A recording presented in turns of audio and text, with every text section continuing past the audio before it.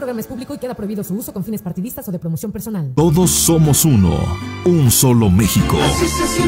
Con talento, gran determinación, generosidad.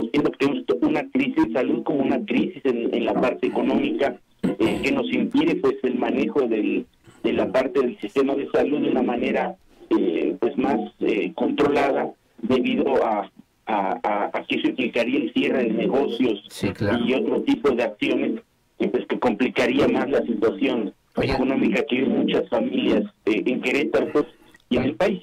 Oye, doctor, perdóname que te interrumpa, pero tenemos un eco, no sé si es en tu teléfono, si tienes un altavoz o tienes alguna otra situación o acá nosotros para que lo podamos checar. No es el audio, no es de la calidad, la de la mejor calidad para que podamos también tener esta conversación y estas opiniones, obviamente de manera importante y que pues eh, parece no se escucha de la mejor de la mejor manera. Entonces ya estamos ahí revisando, ya estamos listos ahora sí.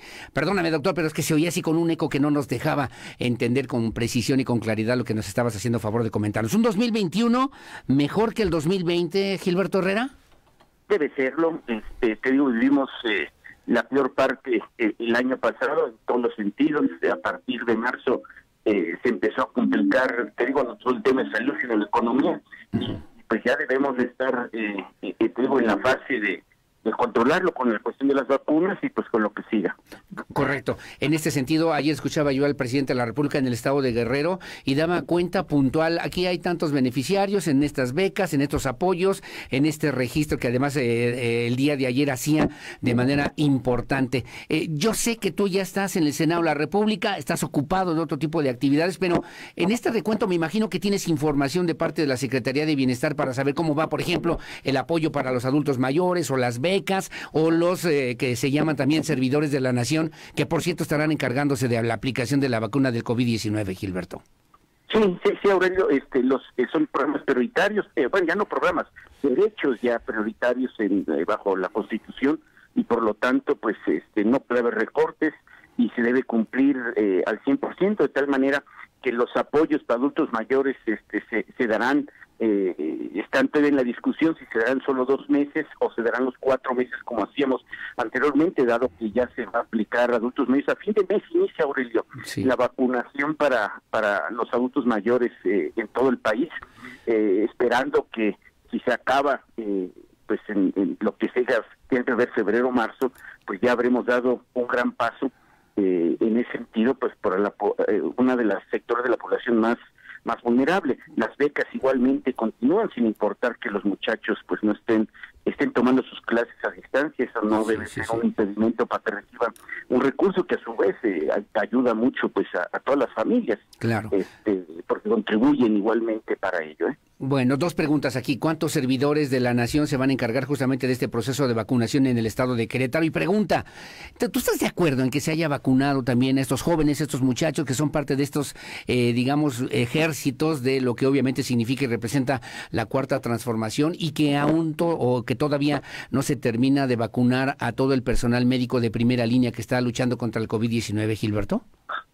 Lo están haciendo a la par ya va a iniciar también la vacunación, Aurelio, de, los, de los doctores que están en hospitales privados, de, primera línea también. este Se iniciará ya esta semana en ese sentido. Entonces está haciendo de forma simultánea. ¿Cuál es la importancia eh, que toda la brigada, no solamente los de la Nación, toda la brigada eh, vaya vacunada? Pues evitar que estemos llevando contagios a comunidades muy alejadas y que por ese mismo aislamiento han tenido esa suerte pues de no padecer en su comunidad ninguna eh, problemática, este porque van a ser eh, alrededor de 400 eh, brigadas en el estado de Querétaro que van a estar trabajando en ello. Entonces es importante que vayan no solamente los ciudadanos de la nación, el personal del ejército, incluso los voluntarios que estén participando, todos vacunados para que no pongan en riesgo, te digo, y, sean un, un factor de, esparcir pues eh, la problemática eh, también pues eh, su protección pero más allá de la protección de ellos es que nadie de ellos de alguna manera que esté contagiado pues esté trabajando te digo porque hay mucha gente asintomática este pero que está en proceso de poder contagiar a alguien pues estaría alrededor de toda la República Mexicana te digo, este, espacio pues van a ser casi 11 mil brigadas las que estarán trabajando. 400 en Querétaro. ¿Sabes cuántas vacunas se van a aplicar en Querétaro, mi querido senador?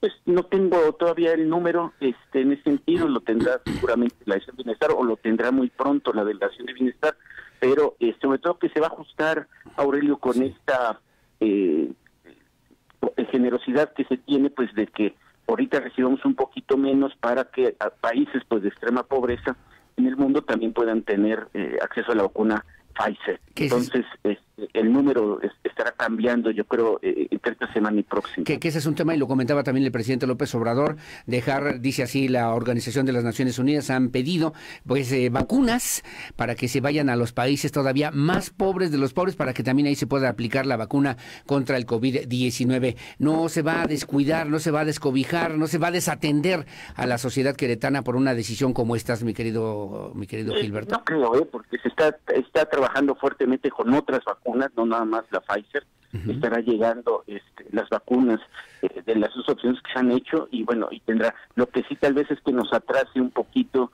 en, en el periodo de acabar pues este toda la la vacunación de la población en el país, no solo Querétaro. Correcto. Finalmente son las 8.33 de la mañana. Hay una, hay una polémica entre el Instituto Nacional Electoral y el presidente de la República, Andrés Manuel López Obrador, a propósito de las mañaneras. Decían también que el presidente realiza las mañaneras de lunes a viernes y sábado y domingo. Hace giras que se transmiten, por cierto, en vivo a través de diferentes medios de comunicación y luego también las conferencias que ofrece el eh, gobierno de la Ciudad de México, también en vivo y en directo a través de los medios de comunicación.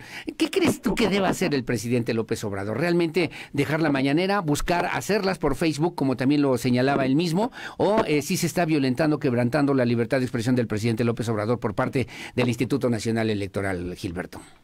Yo creo que, mira, este, el, el presidente no trate temas electorales, las mañaneras deben seguir porque es un sistema de información para toda la población.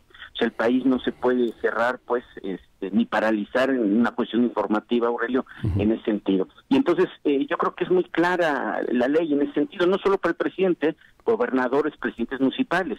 O sea, no tener que tratar ningún tema electoral, no hablar de ningún partido, no hablar de ningún candidato, eh, no hablar de ninguna crítica ni en contra ni a favor eh, de partido candidato en específico y yo creo que eso el presidente lo ha hecho. Eh, esto has visto que incluso del partido Morena este nunca habla ah, en sus mañaneras muy rara vez cuando le preguntan lo hace de una manera corta o sea no son temas pues de la mañanera. Este y espero que los periodistas igual asuman ese rol y no hagan preguntas incómodas en ese sentido de que traten de provocar que el presidente hable de temas electorales. Y es un tema no solo para el presidente, gobernador, secretario municipal, entonces yo creo que se mantenga la ley.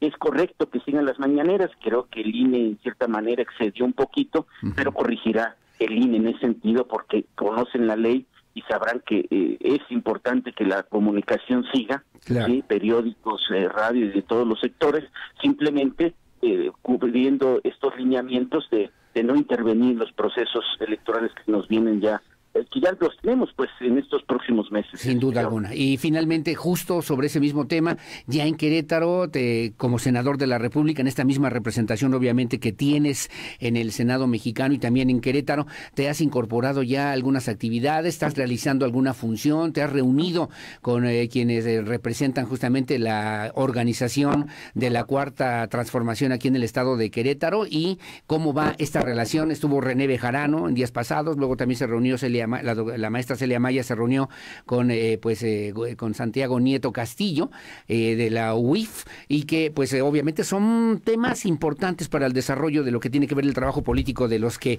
aspiran a alguna posición político-electoral. ¿Tú tienes alguna función ahí, Gilberto? No, ninguna, simplemente el dedicarnos a trabajar en la función que tenemos legislativa, Aurelio, este y seguir trabajando. Estamos en la Comisión de Ciencia y Tecnología, eh, reincorporarnos a la Comisión de Educación. Entonces son los temas que estamos eh, trabajando fuertemente. Ah, participamos en, la cuestión de la ley de educación superior, que era importante para el país. Y, esos son los temas. Entonces tendremos reuniones con quien sea de cualquier partido en, esas temáticas sin ninguna problemática. Yo creo que aquí la cuestión es hay que dividir muy bien lo que es trabajo y lo que es grilla política. Correcto. La grilla política yo creo que este no no abona pues eh, en el país ni en el estado de Querétaro. Hay que ponernos a trabajar y, que sea el trabajo y esas reuniones de trabajo lo que espero yo que sean las campañas y las actividades políticas de todos los candidatos y no la parte un poco artística, pues claro, claro. yo le llamo brilla, de, salir en la foto y aquí estamos y véanos, este, y todo eso que era más especulación que resultados para el desarrollo del Estado. Oye, me gustó, me gustó la idea de la parte artística, ¿no? De quienes aspiran a alguna posición político-electoral. Hace un minuto platiqué con la doctora Tere García Gasca a propósito del arranque de su segundo periodo y nos decía, presupuesto federal cero, o muy poco, o casi nada para la Universidad Autónoma de Querétaro. ¿Eso es cierto o no es cierto? No, mira, este, yo creo que pasa la misma confusión que tienen los gobernadores. Hay mucho dinero, Aurelio, que está llegando directo ya a la gente sin intermediarios. Lo muy importante son las becas de todos los alumnos de la preparatoria de la Universidad Autónoma de Querétaro. Son más de 70 millones que se está recibiendo la universidad en temas solamente de becas de todos los estudiantes universitarios que mes con mes reciben un apoyo. Aparte las becas que también reciben directamente los muchachos de educación superior. Eso pues es mucho, muy superior a, lo que se hablaba pues de tener 5 millones menos de presupuesto este correspondiente al, año pasado hablándose de todos los recursos extraordinarios más el presupuesto. La universidad recibió un aumento presupuestal sí en su irreductible este que pues en, monto absoluto pues es mayor que lo que se recibe el gobierno del estado.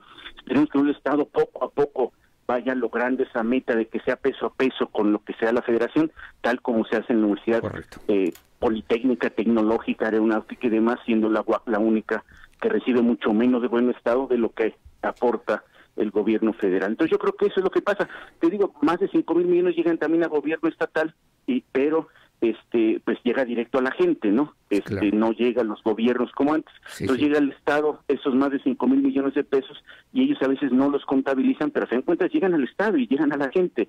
Entonces esa es la parte del cambio de política, Aurelio, que a veces confunde pues a las personas que han estado acostumbradas a recibir un apoyo y de ahí este, ejercerlo. Ok. Oye, doctor Gilberto Herrera Ruiz, te agradezco mucho, como siempre, esta conversación en Radar News en esta primera emisión. Atentos si hay presupuesto, si hay presupuesto además federal para la Universidad Autónoma de Querétaro, además para atender las demandas y necesidades de la sociedad queretana, así lo diríamos. ¿Te parece? Así es, exactamente, Aurelio. Gracias. Pues como siempre, te mando un abrazo, un saludo, que sea un buen año para ti y para ¿eh? todos. Igualmente, senador. igualmente, igualmente es el senador de la República, el doctor Gilberto Herrera Ruiz, quien refiere justamente que hay cerca de 5 mil millones de pesos del gobierno federal para las necesidades de las y los queretanos. Acá me refieren y me decían que no han llegado los apoyos para las personas de la tercera edad y para cuándo, ¿no? ¿Para cuándo le vamos a preguntar a la doctora, a la doctora Peniche, a ver si ella nos puede contestar por lo menos estas inquietudes que tienen muchas personas y sobre el presupuesto federal para la UAC, que también ha aumentado de manera importante porque, dijo también Gilberto Herrera, han aumentado el número de jóvenes universitarios becados por el gobierno federal dentro de la Universidad Autónoma de Querétaro, además de los 400 servidores de la nación que se encargarán de la vacunación aquí en el estado de Querétaro después del próximo mes de febrero. 8.40 de la mañana, su opinión siempre la más importante. Hacemos una pausa, regresamos enseguida aquí en Radar News, primera emisión. Le recuerdo la pregunta, ¿usted qué ha hecho? ¿Usted qué, ha, es, qué hace? ¿Cómo le ha hecho para evitar el tema del COVID-19 en su familia, en su entorno inmediato, en su entorno laboral? 8.40, pausa, volvemos.